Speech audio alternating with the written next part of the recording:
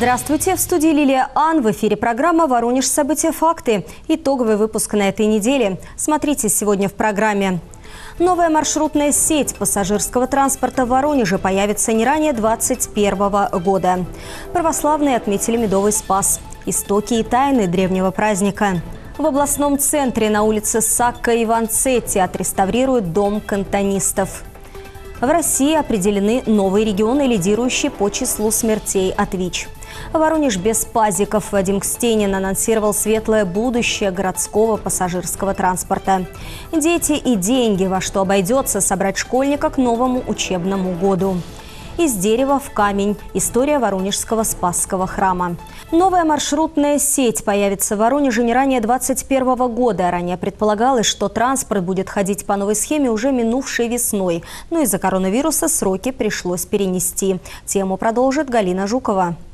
Действующая маршрутная сеть сохранится до марта 2021 года. Новая кардинально изменится. Часть маршрутов будет ликвидирована, часть получит новые направления. По новым маршрутам уже первые шаги сделаны. То есть мы комиссионно приняли два новых маршрута. Это маршрут, который э, будет обслуживать улицу 45 стрелковой дивизии, проблемная наша точка, где не было общественного транспорта. И маршрут э, э, получается, Озерки, 6 стоматологическая поликлиника. А, сейчас по ним идет процедура определения подрядчика. Перевозчики уже приобрели около 150 новых автобусов, в основном среднего и малого классов. Но обновить весь подвижной состав в одночасье не получится. Поэтапным будет и переход на новую маршрутную сеть. Да, тяжело, потому что долгое время подвижной состав не обновлялся, были проблемы условно, с тарифом и с финансированием.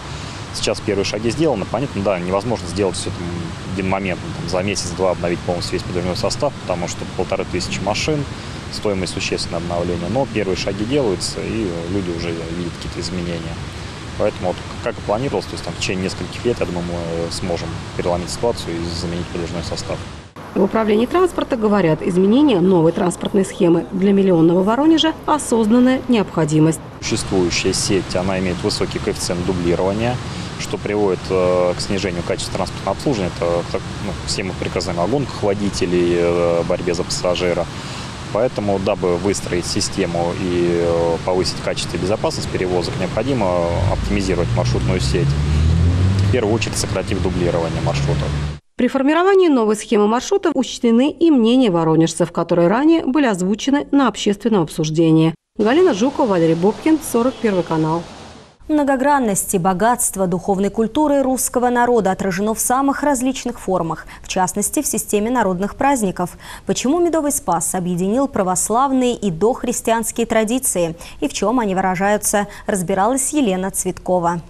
История большинства праздников имеет глубочайшие исторические традиции, уходящие еще в дописьменные времена. Большинство из них на Руси были связаны с сельскохозяйственным циклом. Так называемый цикл жизни хлебопашца предполагал поклонение солнцу, без которого невозможно получить хороший урожай. В дохристианской Руси бога солнца называли сварог. Воплощенное солнце э, значит, дает свет и дает тепло. И люди замечали, что это разные проявления. Э, свет вроде все время одинаковый, тепло разное зимой одно тепло, э, летом другое тепло. Значит, у э, этого Бога есть э, две сущности. Свет, который он несет людям, к нему обращались как подателю благ, дач Богу, Сыну Божьему. И тепло, которое исходит от Солнца, как дух, которое значит, все кругом покрывает и насыщает, и дает живительную силу. И это тепло, это одно из проявлений э, э, той сущности, которой называли э, световид. Считалось, что световид позволял получить урожай пшеницы, проса и ржи, а это, как известно, основа питания. Соответственно, этому посвящалась вся линейка земледельческих праздников. Отдельно в ней стоят особые праздники – спасы – моменты созревания плодов земных. В Древней Руси христианизация породила двоеверие. Языческие обряды смешались с новым культом, а на месте языческого пантеона богов оказались православные святые. На древних капищах выросли церкви и монастыри. По словам историка, мнение, что христианская религия полностью подавила огромный культурный пласт Древней Руси, является заблуждением. Церковь с подозрением смотрела на походы э, людей на всякие родники, э, в святые рощи, э, к святым родникам, полагая, что это тоже поклонение силам природы. А потом осветил эти родники и возглавил этот процесс. Так получилось, собственно говоря, и со Спасом, и это очень правильно. В данном случае православная традиция законсервировала дохристианскую традицию и передала его нынешним, я думаю, передаст и следующим поколениям. Народные праздники Спаса имеют языческие корни древних праздниц, урожая и чествования богов плодородия. Спасов всего несколько – медовый, яблочный и ореховый. С приходом на Русь христианства служители новой религии понимали, что языческие праздники с корнем не вырвать и совмещали их с церковными торжествами, которые народ осмыслял уже по-своему. В этот день хозяйки пекли медовые пряники, пироги с пшенной кашей и медом, готовили медовый квас и медовуху. В церкви освещались первые пчелиные соты. Принято считать, что название «спас» происходит от слова «спаситель», но на самом деле это не так. Никто никого не спасал. Это спас, это значит дозрел, дошел до кондиции, готов к употреблению, а, а не то, что значит э, кто-то спасал мед э, от медведя, допустим. Нет, это не так.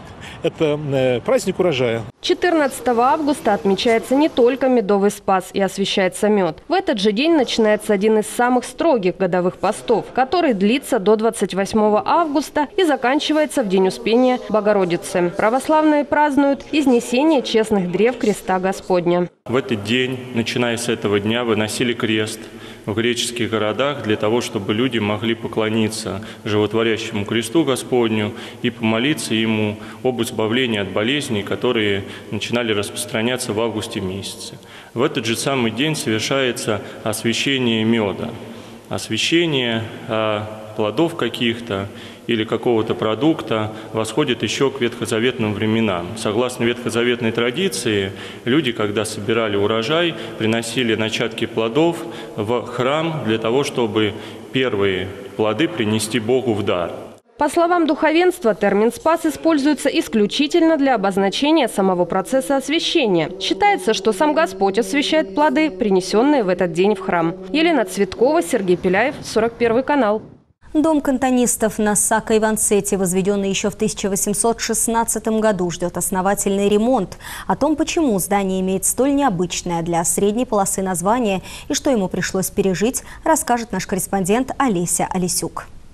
Сейчас для проведения ремонтных работ исторического здания, имеющего статус объекта культурного наследия, ищут подрядчика. Начальная цена контракта 8 миллионов. Срок исполнения всего 3 месяца. В текущем году планируется за счет средств фонда капремонта выполнить работы на инженерных сетях.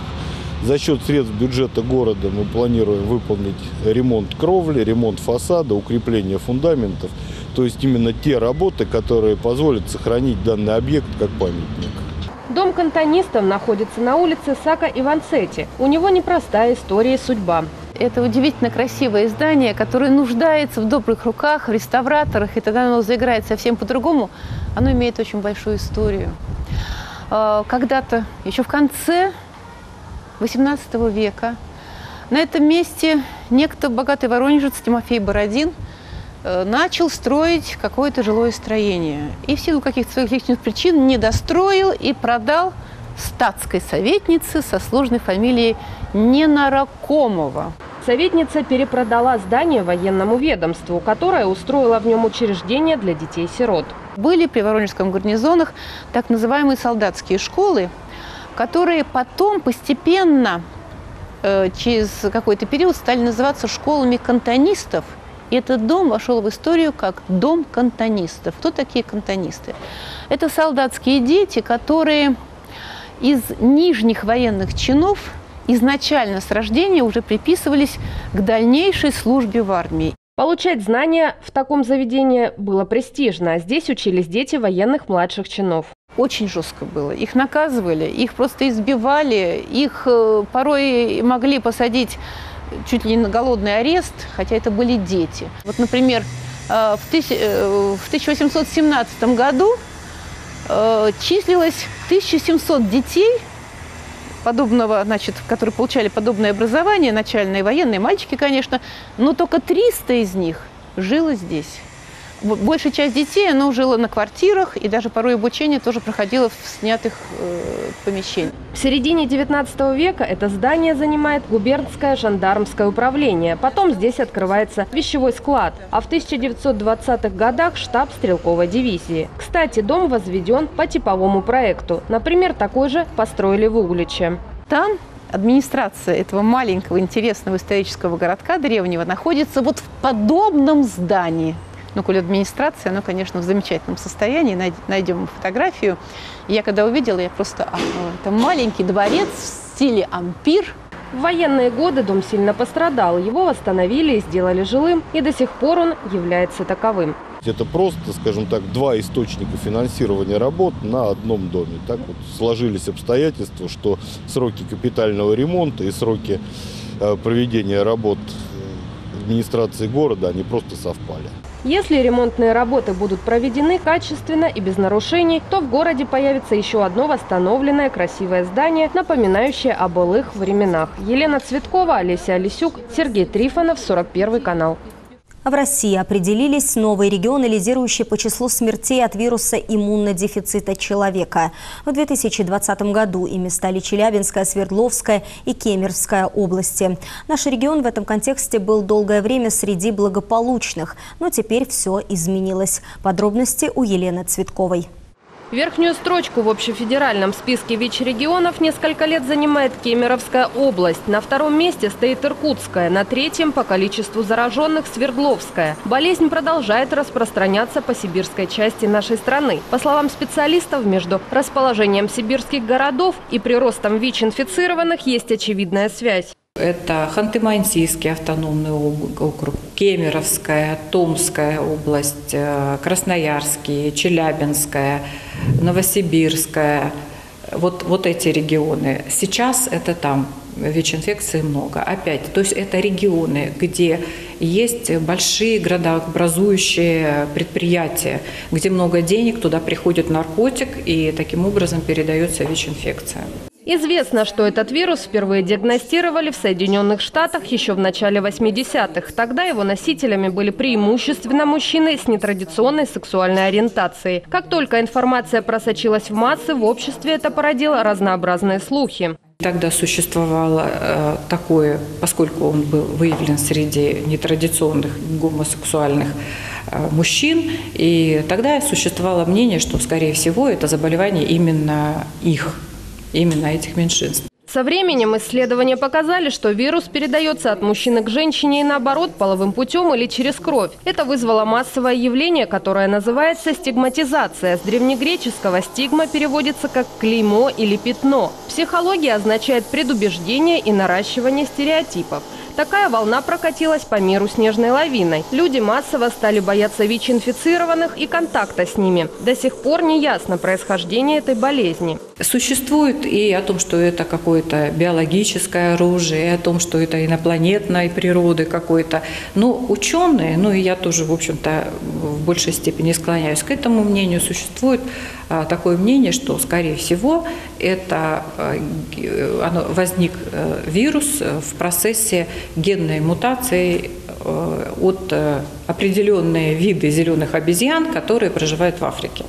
У нас в стране первый случай заражения вирусом был зарегистрирован в 1987 году. Инфицированным стал мужчина, который по роду своей работы бывал в разных странах. У нас в Воронеже первые случаи были зарегистрированы у супружеской пары, которая э, жила за рубежом, работали, причем жена была инфицирована при переливании э, донорских компонентов крови, и муж половым путем от нее инфицирован. Ирина Валявская почти 20 лет работает в Воронежском центре СПИД. По ее словам, с 2014 года ситуация с ВИЧ резко изменилась. Если раньше на территорию Воронежского региона в основном эту инфекцию завозили, то теперь она прогрессирует уже внутри границ региона. В 2014 году анализируя ситуацию, у нас было 50% инфи... Э, э, пациентов вновь выявленных, которые инфицировались на других территориях с высоким уровнем заболеваемости, и, но 50 были, которые не выезжали в другие регионы, инфицировались у нас. Э, вот эти последние годы, вот с 15 до 19, это люди, и, ну и в этом году тоже, это люди, которые 90% э, людей, которые инфицировались на территории нашей Воронежской области, не выезжая. По данным общероссийской статистики, в Воронежском регионе ВИЧ-эпидемия в 4 раза ниже. Сейчас на диспансерном учете в Воронежском регионе стоят около 4 тысяч человек. От вируса иммунодефицита в прошлом году умерли около 100 человек. В 2017 году было выявлено 818 инфицированных человек. В 2018 году вирус обнаружили у 832 человек. В 2019 – 868. В текущем году всего 300 335 человек. Специалисты связывают это с распространением коронавируса и самоизоляции, сократившей общение между людьми и закрытие границы. Оказывается, основные носители ВИЧ – трудовые мигранты из ближнего зарубежья. Врачи напоминают, что главное – это своевременная диагностика. У ВИЧ много лиц, и его сложно обнаружить на первых стадиях. Есть период скрытый иммунологического окна, когда никаких проявлений, ну, можно сказать, инкубационный период. Есть острая фаза, острый период, который в 50% может э, манифестировать под, э, и, так сказать, проявляться в виде э, острых инфекционных заболеваний или кожных заболеваний, или, или маскироваться под маской других инфекционных заболеваний, как мононуклеоз, или давать какую-то форму кишечную, э, или кратковременное или длительное повышение температуры, потеря веса. В 2019 году всего в Российской Федерации обследовано более полумиллиона человек. Из них 30 572 человека не являются гражданами России. Несколько лет назад Европейский центр профилактики и контроля заболеваний признал Россию лидером по темпам распространения ВИЧ в Европе. Более 70 новых случаев заражения ВИЧ на 100 тысяч человек. Впрочем, российские ведомства такие выводы не признают. Елена Цветкова, Сергей Пеляев, 41 канал. Глава городского округа Воронежа Вадим Кстенин встретился с руководителями всех транспортных предприятий для того, чтобы обсудить перемены, которые намечено провести в сфере пассажирских перевозок. Современные автобусы, комфорт и неукоснительное расписание. Таким видится главе города Вадиму Кстенину будущее воронежского городского пассажирского транспорта. Чтобы все это воплотилось в реальность, перевозчикам необходимо в течение трех лет приобрести более 950 единиц подвижного состава новой модификации, взамен устаревшим ПАЗ-4234. Маршрутчики на это смотрят скептически. Не такие уж богатые водители, чтобы иметь несколько миллионов, покупать этот автобус. Это раз. В лизинг или в кредит брать не так-то просто его отбить. Это по, и по такой цене проезда. Пока отобьешь, его уж порасписывать. Понимаете, в чем дело? И, ну, и, и они и так уже, люди, многие бросают этот бизнес, потому что не очень выгодный. Вы представляете, что будет? Вот сейчас сказали, убирайте автобусы за три года хотя бы. Ну, куда человек? Нет у него в кармане денег. И кредит, когда он его отобьет? Когда? Сколько лет пройдет? Ну, вот, если отобьет этот автобус, уже все. По словам диспетчера Александра, 80% водителей на маршрутах содержат автобусы самостоятельно. И что с ними делать, когда придется менять транспорт, не ясно. Да кому же они нужны там по выгодной цене? Ну кто их будет продавать? А никаких льгот нет по замене. Вот этот сдал, получил новый. Я таких вот не знаю. Не знаю я таких, понимаете? Они вот сказать сказали, но что для этого сделать, что для этого будет, какое будет решение, чтобы водителям было выгодно купить, чтобы не так напряжно было для семьи, для бюджета. У всех же семьи, дети, их надо кормить, понимаете? Но он человек не может отдавать 1060 в месяц за лизинг, за все прочее, еще плюс кормить семью, и это, это нереально. Так, ну извините, мне работа. Сань, подгоняй. Автобус по устаревших моделей, вот 42, 34, 3205, он должен уйти с городских улиц. Мы должны пересесть на комфортабельные автобусы большого и увеличенного среднего класса, и, которые действительно станут лицом города Воронежа и будут соответствовать уровню города-миллионника. Воронежцы, активно пользующиеся пассажирским транспортом, о его недостатках знают не понаслышке. Ну, к лучшему заменить, наверное, на более новые модели вот эти транспорт, автобусы, потому что уже старенькие, как-то заходить неприятно в них. Едешь, голоса своего не слышно, вообще ничего не слышно, кроме автобуса. Если я все правильно помню, очень много разных моментов было, когда из-за их технического состояния случались какие-то не очень хорошие штуки. Я ехал в пазиках, и но вот за мою жизнь при мне они трижды горели. То есть я еду в пазике, он горит. И вы, вы, выходят все из автобуса, то есть горит, ты едешь на автобусе, он горит. Норм? Нет, не норм. А деньги возвращались за поездку? но знаешь, типа, когда ты в дыму, не то чтобы прям, а, извините, пожалуйста, мне рубалечек не додали. Народу, конечно, пазики не нравятся, допустим, пожилым людям там тяжело подниматься, высокие ступеньки. Другой вопрос, что делать людям, тех, кто вот эти автобусы содержит. Просто ему надо тоже как-то подумать, наверное, нашему мэру, чтобы людей без э, куска хлеба, или как там выразиться, не осталось. Какие-то льготы куда-то, что-то, может быть, обменять можно. По словам водителей, особенно тяжело пришлось в разгар пандемии. Тогда они потерпели убытки, и пока что никто их не компенсировал. Егор Китаев, Сергей Трифонов, 41 канал. До начала нового учебного года осталось чуть больше недели. Из-за пандемии торжественные линейки в День знаний пройдут только для учащихся первых, девятых и одиннадцатых классов. А вот расходы на учебники, школьную форму и письменные принадлежности пока никто не отменял. Во что обойдется родителям подготовка к учебе, выясняла наш корреспондент Галина Жукова.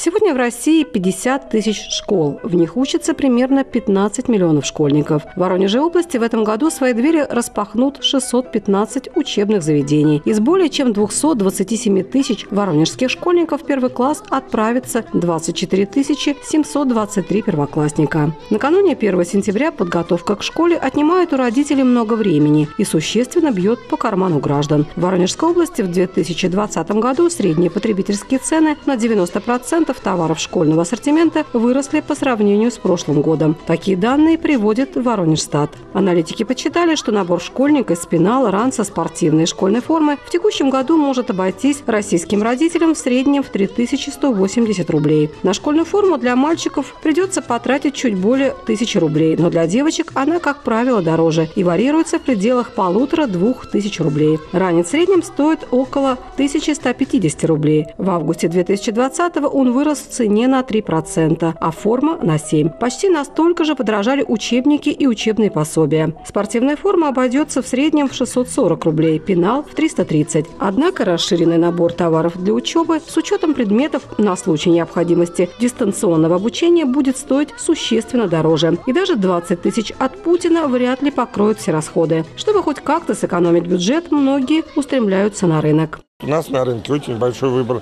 школьных товаров, э, обуви, э, ранцев, ну, всего что нужно для школы полностью, вы можете здесь одеться и очень дешево.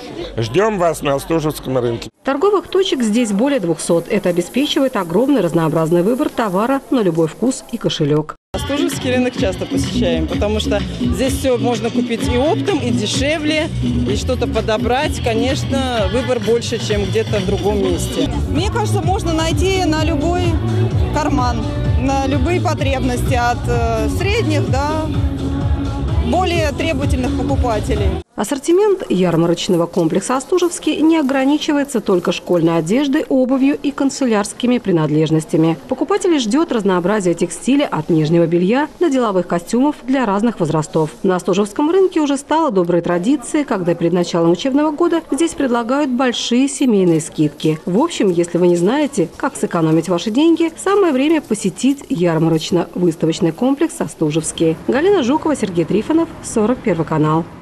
Воронеж, как известно, изначально был деревянной крепостью в окружении слобод и церквей, построенных тоже из дерева.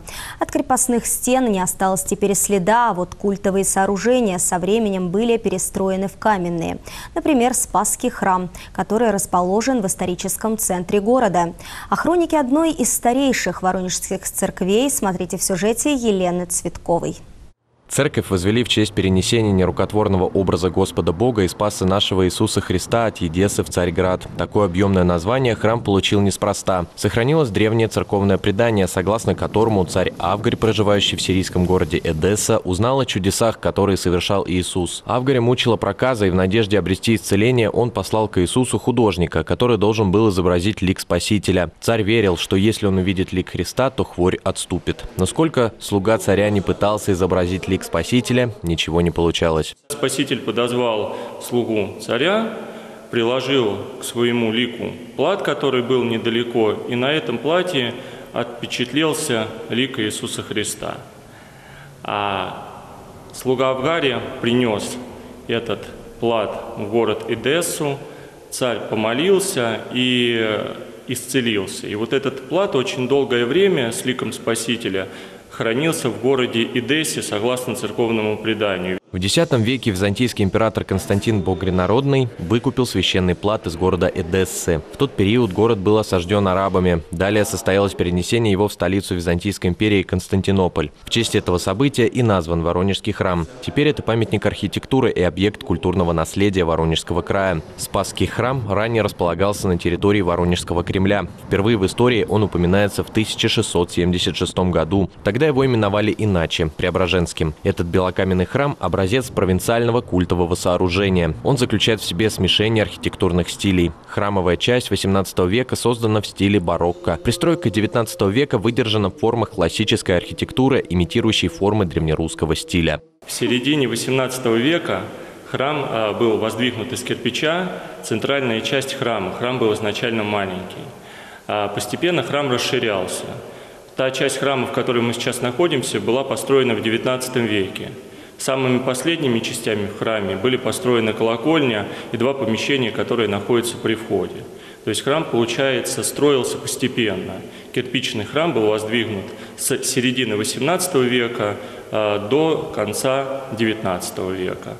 Строительство шло 6 лет исключительно на благотворительные средства. Храм заключает в себе несколько пределов. Трапезная часть освящена во имя Николая Чудотворца, основной предел во имя Спаса Нерукотворного и дополнительный в честь Смоленской иконы Божьей Матери. В те годы вокруг церкви стоял действующий погост. В 1841 году обновили трапезную, а в 1851 возвели новый алтарь. Колокольня пострадала первой. В ней обнаружили трещины уже в 1854 году. Чтобы не произошел обвал, было решено ее перестроить. Проект утвердил император Александр II. Через четыре года указ императора был исполнен. Интересная особенность нашего храма – кирпичная кладка, которая сохранилась с XIX века. И в этой кладке есть кирпичи, которые имеют клейма. Эти клейма э, помогают понять, в каком месте были изготовлены кирпичи и в какой период. Для служителей культа в 1917-м начались тяжелые времена. Когда к власти пришли большевики, православные храмы перешли на службу трудовому народу. Спасский храм не стал исключением. Из него полностью изъяли церковные ценности. В середине 30-х церковь была передана Госархиву. Там находилась типография УВД вплоть до 90-х годов 20 века. Улица, на которой стоит храм, была консисторская, стала Фрунзе. В период Великой Отечественной здание пострадало от обстрелов. Спасская церковь утратила колокольню. Большая часть четверика была была разрушена полностью. В 90-е церковь восстановили. К небу снова поднялась колокольня, засияли купола. Прихожане вернули старинные иконы, здесь несколько особо почитаемых образов. Одна очень интересная икона есть в нашем храме, на которой изображен благоверный князь Александр Невский и апостол Архип. Эта икона написана в честь э, освобождения крестьян от крепостного права в 1861 году.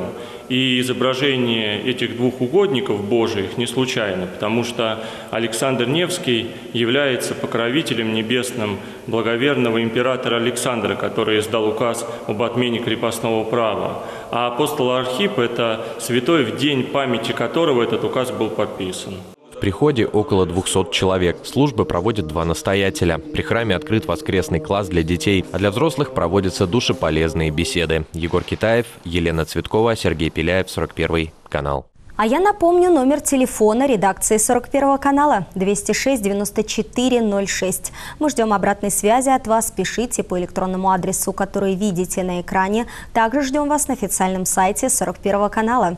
Это были все новости минувшей недели. Что готовит нам предстоящее, мы расскажем в следующей программе «Итоги» на 41 канале. А я с вами прощаюсь, и пусть у вас будут только хорошие новости.